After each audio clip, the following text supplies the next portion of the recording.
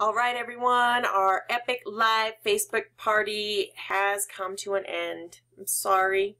Um, I hope you all had a great time tonight, and I'm really looking forward to working with some of you to host your own epic live Facebook party and partnering with you and helping you earn some free jewelry as well. So everyone have a wonderful night, and I will talk to you all soon.